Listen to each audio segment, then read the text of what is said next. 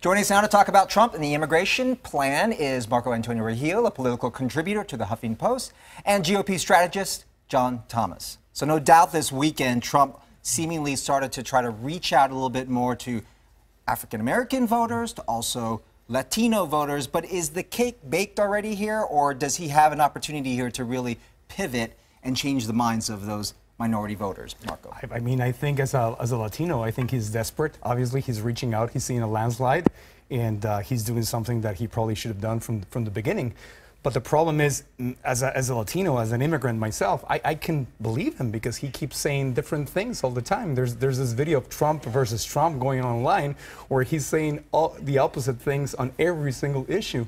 And, and it worries me that a guy that is that is not capable of, getting feedback, that gets angry at any reporter that asks a question that is a little bit, a little bit questioning himself, gets immediately aggressive. I cannot trust a guy who's emotionally so unstable. Okay, you say desperate, but he has new campaign leaders. Yeah. So is he now reining in his message? Is he gearing up for this general election against Hillary Clinton, John? Well, a lot of the the things that concern Marco concern me, but those yeah. same concerns concern me about Hillary Clinton. The fact that she has a temper too, and that's why she doesn't hasn't held a press conference in almost 300 days. She doesn't have to face those questions. The fact that she's flip-flopped on her emails, she's lied to the American public, even the director of the FBI. I can't trust her for the very same reasons, except she jeopardized national security but in the process. Let's talk about this new campaign team because they're speaking out now more. He had this meeting this weekend with his Hispanic advisors. Is he reining in his message, John? Yeah, I think he's going to clarify his his uh, position on immigration because logistically it's impossible. You couldn't deport 11 million people. I think where he's going to end up evolving to is we're going to look at people with criminal records that aren't citizens and figure out a way to get them out of the country. That's probably where he's going to end up. But the, the,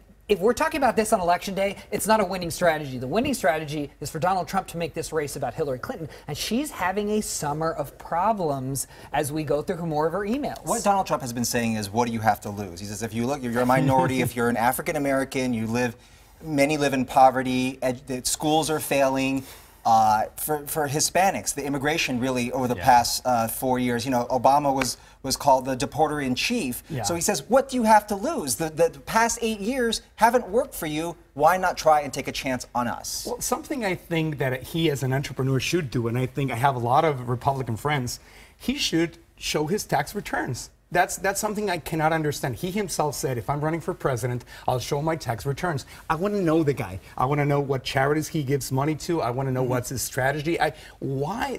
I mean, if I want to get a refinance for my home, I have to show my tax returns. If I want to date someone and marry her, I have to show my tax returns. Why? Why isn't he right. releasing and that? Hillary Clinton should release her Wall Street transcripts because I want to know why someone would pay two hundred thirty thousand dollars for a speech. What I, is so good about those and returns? And I agree with that. I'm a, I was a Bernie supporter, and that's what Bernie said all the time. I was going to say, you almost sound like Bernie Sanders.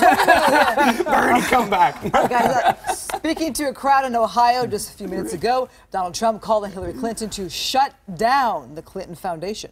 Her foundation took in large payments from major corporations and wealthy individuals, foreign and domestic, and all the while, she was Secretary of State. The Clinton Foundation accepted as much as $60 million from Middle Eastern countries that oppress women, gays, and people of different faiths. Well, he says shut down the, the Clinton Foundation now. The Clinton uh, teams is essentially saying it's going to take some time to do this because we have to really get this, you know, the ball rolling. But we'll do it once yeah. she is president, if well, she is president. Well, we could agree that we should get all big money out of politics on both parties. No super PACs, just like Bernie did it, you know, like individual donations. We could agree on that. And I agree on, on, on, on transparency and clarity for, for both parties. I want the U.S. that comes together. I don't want a U.S. that is so polarized that we're yeah, fighting but, but, against but each other. That's, that's distract you from the issue. The issue yeah. is that the Clintons took tens of millions of dollars from foreign governments that allow terrorism to grow, that hate gays, and kill women. And somehow that's not okay when she's the president, mm -hmm. but it was okay when she was Secretary of State. It's that mm -hmm. double standard that I think upset so many Americans. And that's right? why I want to see the returns of uh, tax returns from Trump because I want to see who he is supporting. Is he supporting the KKK or you know who is he with? He's a mystery. He says one thing and the next day he says the other. Let thing. me just say this: you guys have hit on a lot of topics. we need like an hour with you two. Come back. Yes. Uh, we want to talk about uh, Marco's uh, event that's going on. He's collaborated with Mayor Garcetti to launch the 2016 Startup Business Expo. There's an event this Saturday at East LA College in Monterey Park. It's from 9 a.m. to 1 p.m. Uh, go to startupla.com for more information, but you're essentially telling Yeah. entrepreneurial people who Yeah. are in the Latino community or minority communities. to go- Latinos, Asians, Anyone. African American, we're teaching them how to think as an entrepreneur so they can open their business. Mayor Garcetti and his team is doing a big effort on getting minorities to open their own business. But the first thing you have to learn is how to think as an entrepreneur, how to be responsible for yourself. like an entrepreneur. Yeah. John, always thank you for coming in. Thanks, guys.